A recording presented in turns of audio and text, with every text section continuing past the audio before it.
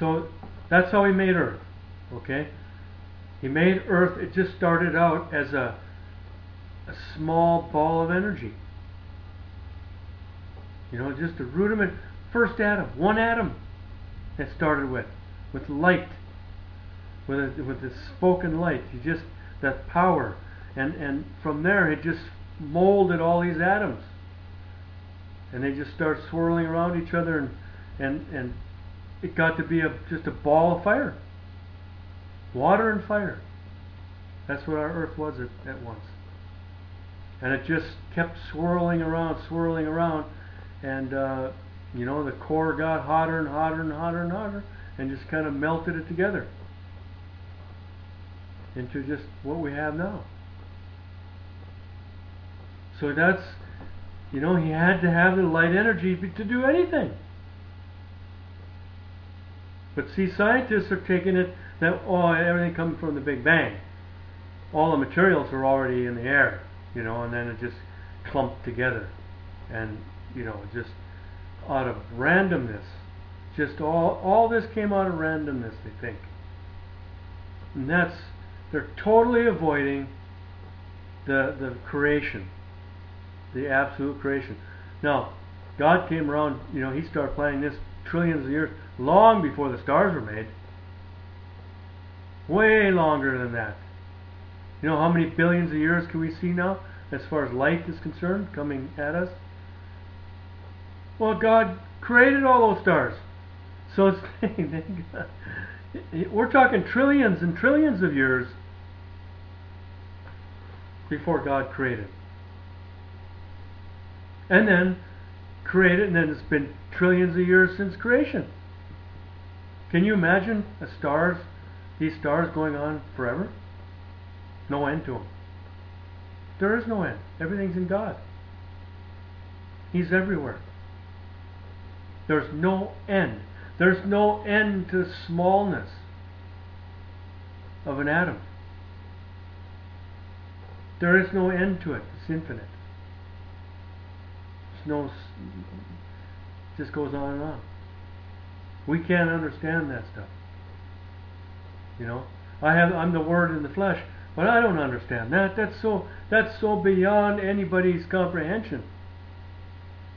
Now we'll probably learn some of that, you know, living in paradise for the rest of, uh, you know, eternity. You know, the Word is going to get that knowledge. Those people with the Word, the saints, the, the prophets, and us.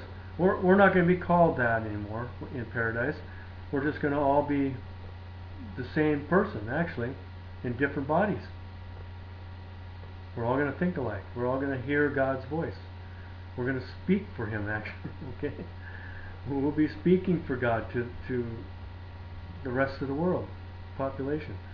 So, and I want to get to that now. I'm I'm talking about some important things here. How we're created, the flesh. Why do we have flesh?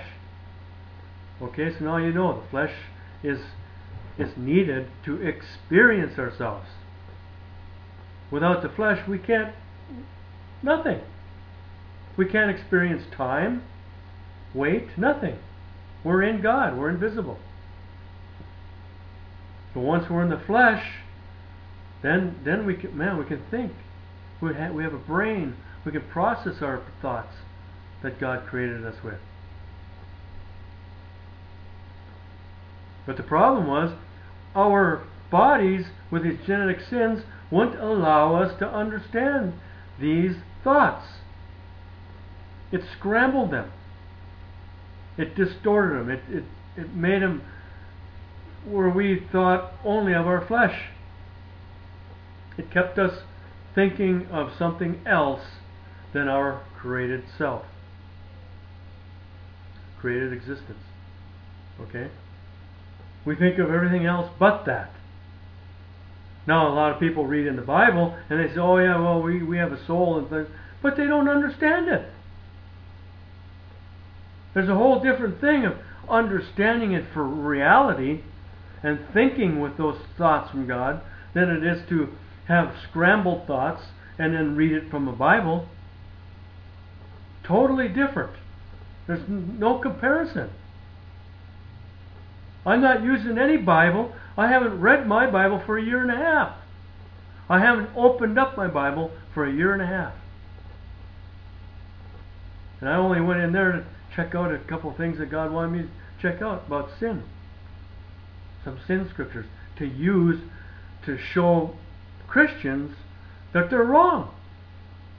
And it doesn't really make any difference anyway because they're not going to understand me.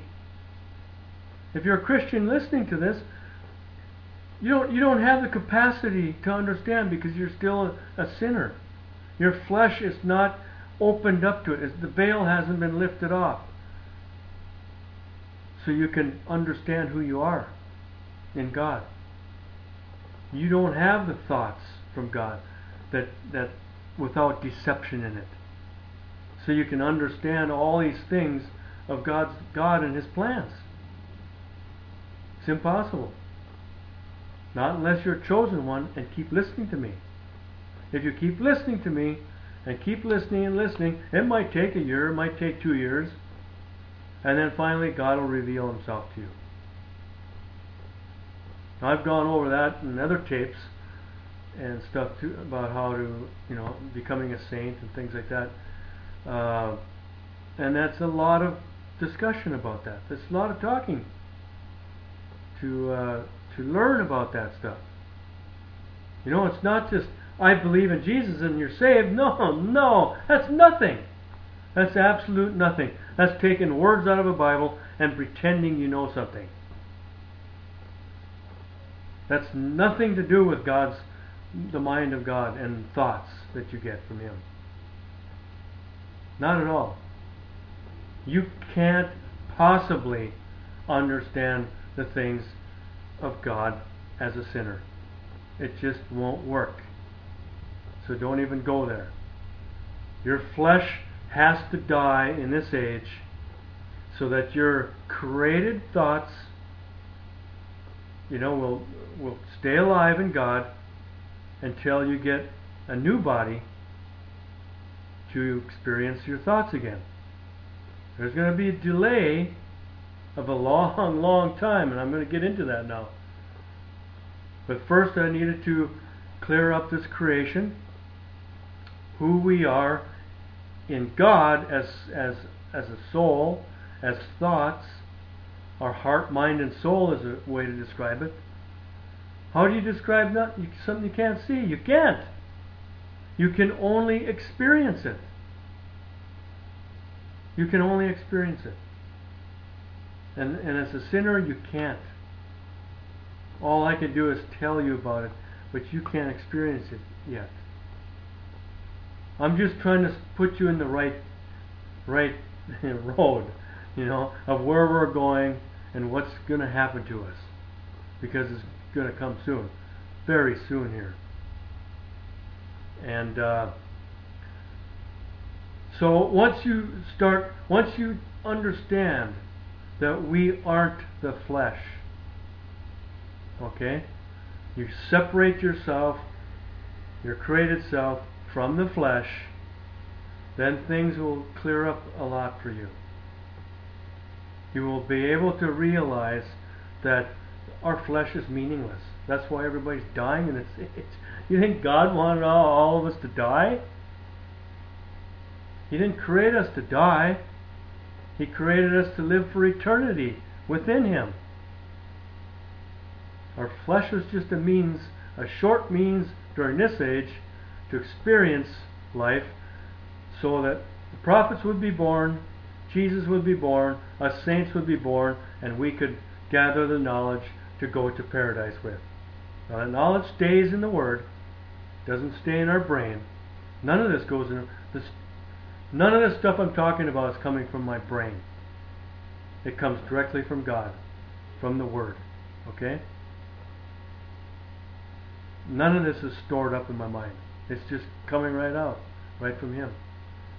So, that knowledge that I speak is retained in the Word now that it's been spoken. And we can use it in uh, paradise. We'll go to the next one here.